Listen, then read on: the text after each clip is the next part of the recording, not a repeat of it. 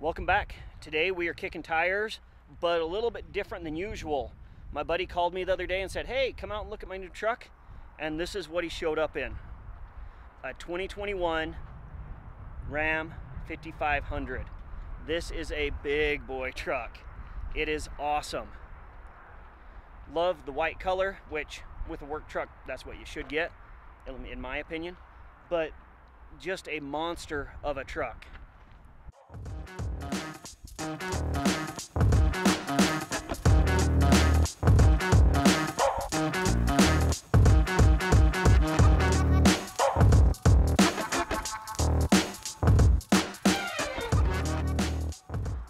was a little bit surprised that he went with the Ram because he is a Chevy guy. You may remember our 2006 versus 2021 Chevy comparison. That's his truck. Just always been a Chevy guy. But when it came right down to it, the Ram had more usable numbers for him. The Chevys, for some reason, just don't tow a whole bunch when you get up into this commercial grade. As we come around on the bed, this is a Bradford built bed. And something I haven't seen on a lot of these is this little flip out. So now you can drop the side down. Kind of nice to be able to just flip it around, flip it back up. Kind of slick. Now he hasn't got all his boxes put on yet, all the toolboxes, all that sort of stuff. Comment down below where you would put the boxes. He's been wondering about maybe just up in here, or do you get the boxes that sit off the side? Yeah, suggestions taken down below on where to put the boxes to best utilize this bed. Got the gooseneck hitch already put in with this nice little cover. Go right over the top of it. Pretty, pretty dang slick. And the headache rack turned out really nice as well.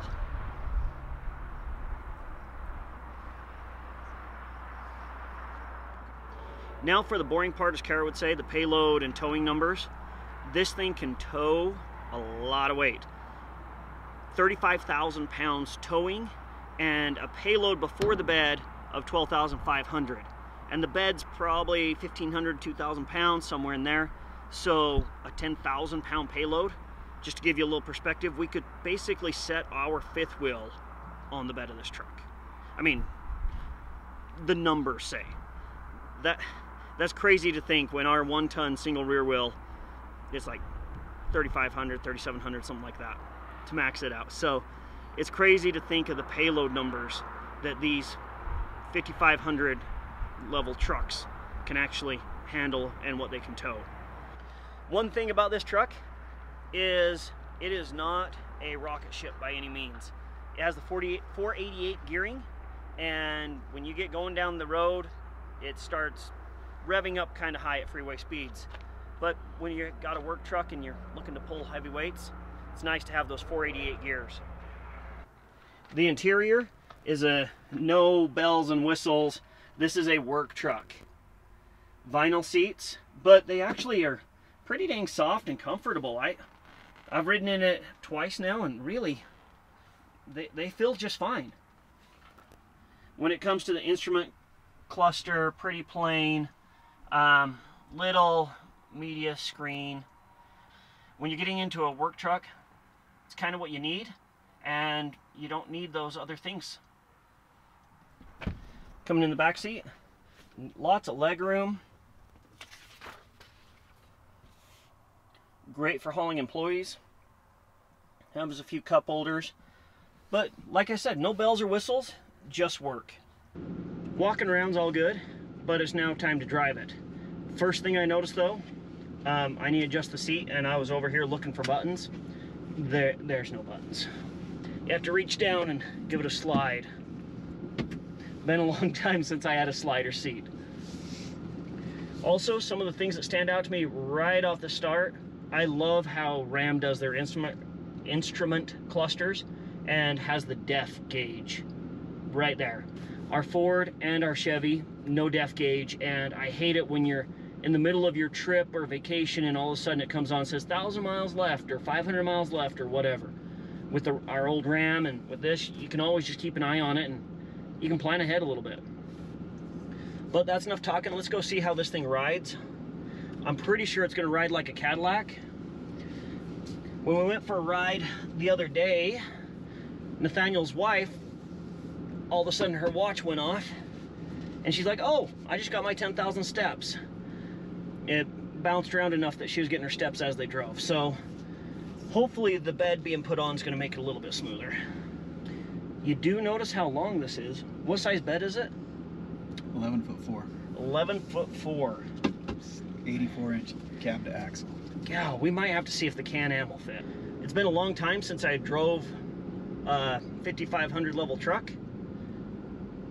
Used to drive my father-in-law's F550s around, helping him out in the oil fields, but it's been a long time in, since I've been in this big of a truck.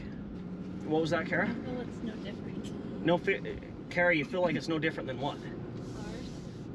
You feel like it's the just like riding in our new one? I mean like size wise. Oh, I don't know. I, I think it feels a little bit I bigger. mean, maybe, as you drive. Maybe if I'm driving, I would know different. It'll be interesting to see how it does on the freeway, how smooth it is.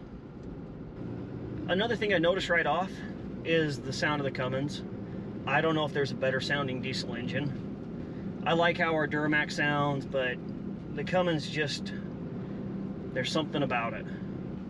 With 11 foot 4 uh, bed, this is a long truck, and he doesn't have a backup camera on it yet and he's been looking into which ones to get, all that sort of stuff. If you have any insight on which backup camera to get, please comment down below. It'd be awesome to get some insight on or recommendations on which backup camera is kind of best for these.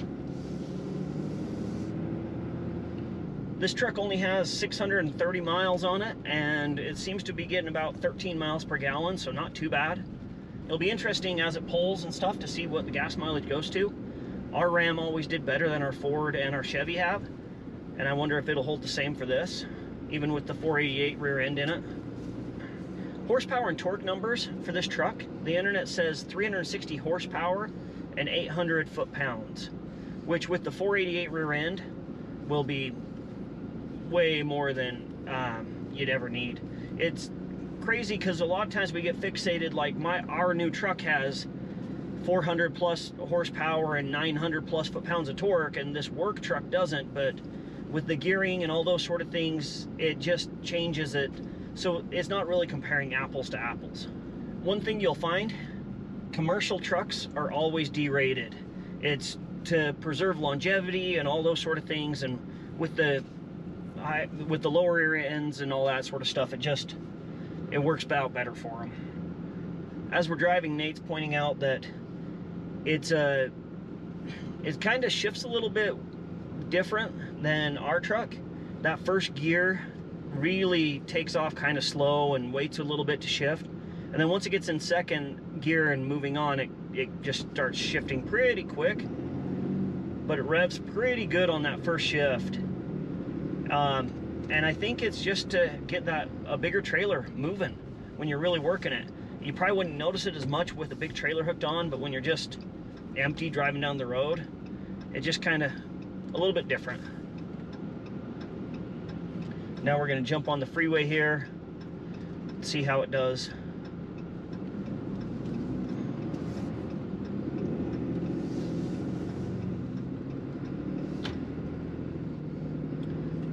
Yeah, those second, third, fourth shifts are fairly quick. Yeah. But that first gear shift, it just. But I remember you saying back when we had our 06 that its first gear was different than your Duramax 06's first gear with the Ram. So we're at 70 going down the freeway here, and we're at 2200 RPM. So it runs fine down the freeway, but you are pulling a little bit higher RPM. It's not that you can really hear it that much more though in the truck. Just give a little bit of a comparison. Our truck runs at about this speed at 1500 to 1800 RPM, while this is running at 2200, just showing that lower gearing, which is what you want with a work truck. It's not meant to do 80 or 90 down the freeway. But as we cruise down the freeway, really smooth, all right? What do you think, Kara? Do you notice anything different back there? Not necessarily. I mean, it's got a little bit of bounce to it, but Yeah, I don't know if you're hearing that. Kara says there's a little bit of a bounce to it, but pretty smooth. I mean, eh, But when our freeways are really rough anyways. yeah, this freeway's not the best right here. The mirrors are pretty good. The guy behind us is picking his nose.